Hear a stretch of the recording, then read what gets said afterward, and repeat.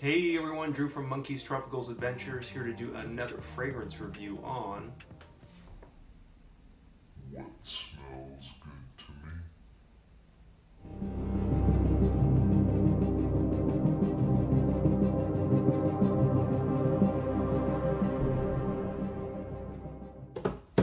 So what are we going to talk about? So full disclosure before I get into this fragrance, uh, it was sent to me.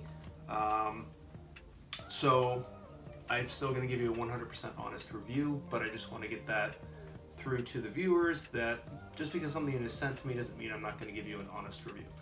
So with that being said, let's get on with it.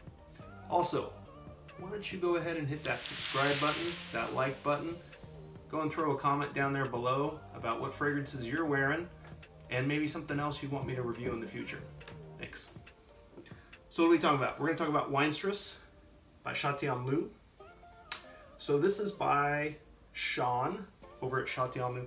Uh, I stumbled onto Chatillon Lou about a year ago, and Sean has been very good to me. Um, I'm really, really into tobacco fragrances, and so I've reviewed a lot of their tobacco fragrances, and Sean makes a truly, truly unique uh, perfume slash cologne fragrance. Uh, he's a historian. He's out of St. Louis, Missouri, and he ties a lot of history into his fragrances.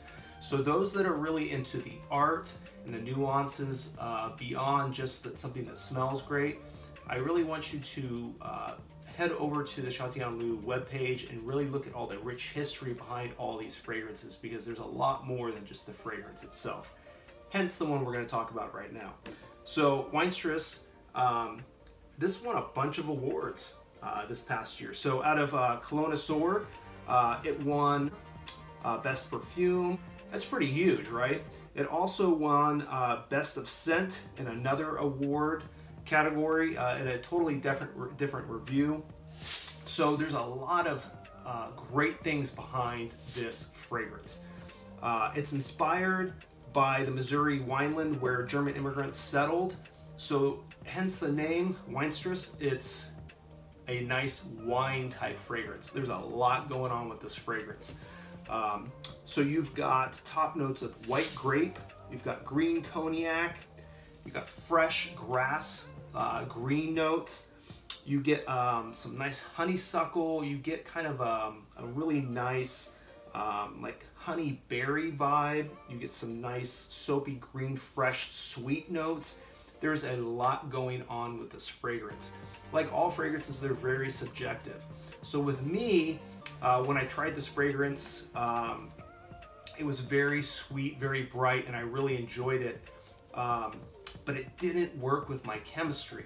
And I was very bummed about it. Uh, I thought it was kind of a fluke. So I told Sean I tried a couple different times and there was just something about this fragrance. And I've had it happen with a couple other fragrances that I really, really enjoyed a lot. And I don't know what it was, um, but it just, it wasn't really working with my chemistry. And it's, I kept coming back to it because I really enjoyed the fragrance. I enjoyed uh, the initial burst. I enjoyed um, the kind of the mid dry down and the dry down. I enjoyed all of it, but it just, something wasn't working. So please don't use me as the benchmark of something, whether fragrance doesn't work or not. I always tell people fragrance is very, very subjective. It is one of those things that it, it truly is one of those, um, it's a love. It's a love because you know, you have you have fragrances that you smell in someone else and you're like, oh man, I gotta get that, and you get it and it doesn't work. Or you smell something uh, in a department store and you're just walking through, you're like, what is that? It smells great on the strip. You put it on and it doesn't last as long on you. Well, so that's kind of the way I'm, I'm kind of, I'm being very subjective with this fragrance. It didn't work for me, but I like it, if, if you know what I mean. So I really, if you're if you're truly into the art of a fragrance, if you're truly looking for something very different, you got to check out the Weinstrass by Chatillon Lou.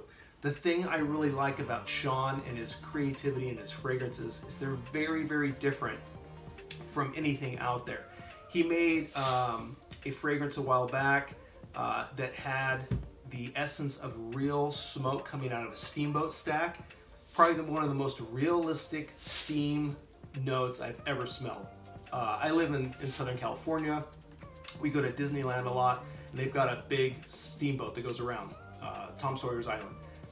The smoke, everything, all that smell, the nuances from that smell, that's what I got from that fragrance. So Sean is able to make and create just some wonderful smells that are so realistic. And that's what's captured here is a true white grape. So if you're a big fan of wine like who isn't um, you're really gonna like this fragrance because it really captures the like when you open a nice uh, sparkling white wine and uh, like in the summertime you know and you're you know that crisp wine smell of, of a white grape it is truly captured in this fragrance. It is just it is absolutely beautiful uh, I love the creations that Sean is able to do with his fragrances. Um, one of the notes he actually has in there, it's I might actually butcher, it's coumarin, which actually mimics a tobacco type note. And so that was one of the things, I think the reason why Sean sent it to me is he knows my love of tobacco. And it, it is, I can definitely smell the nuances of a tobacco note in there. I wouldn't say this is a tobacco fragrance. It is more of a white grape, a, a sweet uh, crisp fragrance, uh, floral. Uh, he was going in the lines of a fougère, um, but different. So I think he's captured all that really well. The fact that all these awards that this fragrance won basically shows what a masterpiece it is. Again, Sean is always creating something new. You have to tune in, get, uh, sign up for his email alerts because he's going to be doing some really new and innovative things with his business in the next year, which is really exciting. Um, it's just, it's, I really enjoy someone who takes their art and their craft so serious, and Sean truly is an artist in his creations. So if you're looking for this bottle, which is a two ounce, it goes for $60. But like I said, I'm always about trying something before maybe I purchase. Uh, a blind buy, it's definitely something different, and I think um, you'd be okay with it. But you can also get a 5 ml for $8 if you're kind of on the skittish side you want to try it out first. Uh, I see this fragrance also is something that would be uh, unisex. I could see this feminine or male, um, and I see it shining. You could probably really rock this year round. I could see it popping in cooler weather, and I could see it being a nice spring, summertime fragrance. So that's about it for uh, this review right now, but again, this is Weinstrass by Chatillon Lieu. Please take a look. Go head over to his Instagram page. Like I said, sign up for the email alerts and head over to the website. I'll leave that all in the description below. Please make sure you follow me on Instagram at Monkeys Tropicals Adventures. Please like and subscribe, and I will see you again for another fragrance review, shave, or something new in the year of 2020. Take care.